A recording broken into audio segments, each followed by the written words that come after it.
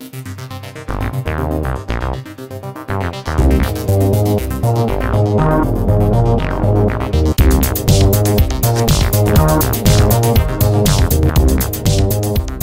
back to Dickie's Beer Reviews. Today I'm trying Fremont Brewing out of Seattle, Washington.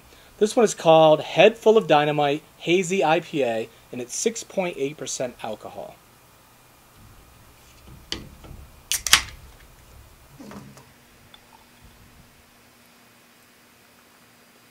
Shout out to Speedy Mart. I went to Speedy Mart today after work and that's where I found this. So check out your local Speedy Mart in Las Vegas. Alright, this has a golden yellow color to it. Put a really nice creamy head on there. Put it a little bit fast. It's got a sweet citrus smell to it. A little bit of a wheat smell to it. It smells really good. It's got a bitter hoppiness at the beginning, but then it's sweet in the end. It's creamy. It's juicy. It's citrusy in the end. It tastes like sweet grapefruit. Maybe a little bit of an orange taste in there. Maybe a little apricot. Tastes like twigs and berries. It's spicy on my tongue. A little bit stronger bitterness in this. But overall, it's good. It's refreshing. It's creamy. It says to go to fremontbrewing.com to check out what kind of malts and hops they use in this beer. I haven't looked it up yet. Maybe I'll put a link down in the description. Alright, to sum this one up, this has a hazy straw yellow color to it. Nice thick creamy head on there. A lot of lacing.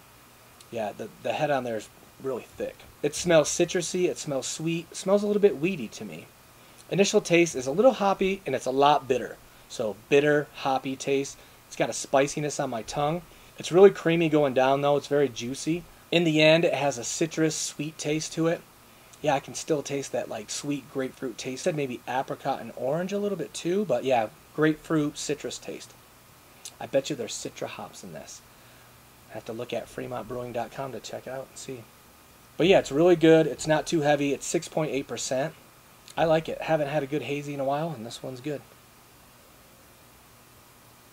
Alright, thanks for watching. Check out my other videos, subscribe, leave comments, hit the like button. Until next time, cheers.